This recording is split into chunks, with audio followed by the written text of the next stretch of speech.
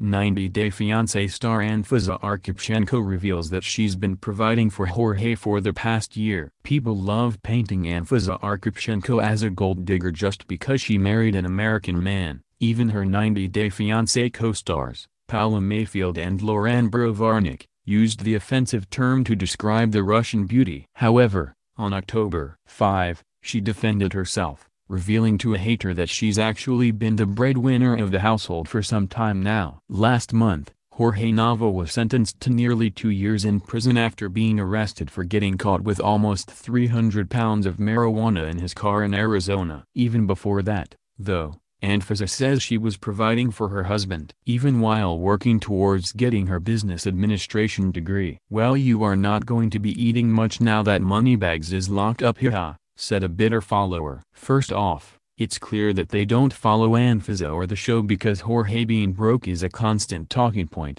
but we digress. What money bags? asked Anfisa. I've been making my own and providing for both myself and my hubby for the last year at least. So joke's on you. Anfisa certainly doesn't need anyone to stick up for her, she's a pro at clapping back at haters. But that still seems like a particularly cruel thing to say to someone who just lost their spouse to the prison system. That's especially true for Anfisa, who is across the globe from many other friends and family, and isn't even on good terms with Jorge's family. He's all she had and now she's alone. Luckily, Anfisa's relationship with Jorge seems stronger than ever. Just before Jorge was incarcerated, the couple enjoyed a sweet tropical trip together. They also talked about how they definitely want to continue to grow their family and have kids once he gets out. On top of that, Anfisa doesn't even have an engagement ring from Jorge, so it's unfair to say she's a gold digger. We wish them both the best as they continue to stay strong.